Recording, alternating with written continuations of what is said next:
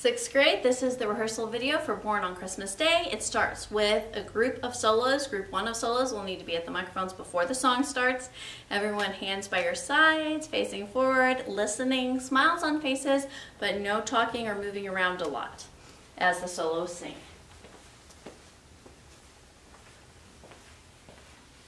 Mm -hmm.